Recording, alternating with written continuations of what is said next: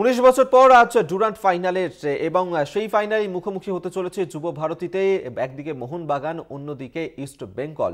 এই মুহূর্তেই দুপক্ষেরই কোচ, তারা যথেষ্ট আশাবাদী, কারণ একদিকে যেমন ইস্ট বেঙ্গল, তারা নিজেদের জয় ধরে রাখতে মরিয়া, অন্যদিকে মোহনবাগানের কাছে বদলার ম্যাচ আজকের এই ডার্বি, এবং সেই ডার্বি ঘিরেই উত্তেজনার পারদ কিন্তু তুঙ্গে।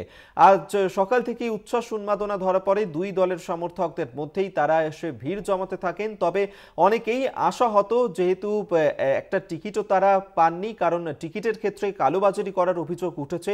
তার মধ্যে আজকে বৃষ্টির ভ্রুকুটিও রয়েছে কিন্তু এই ম্যাচের ক্ষেত্রে এবং সেক্ষেত্রে ডার্বি ঘেরেই এই উত্তেজনা।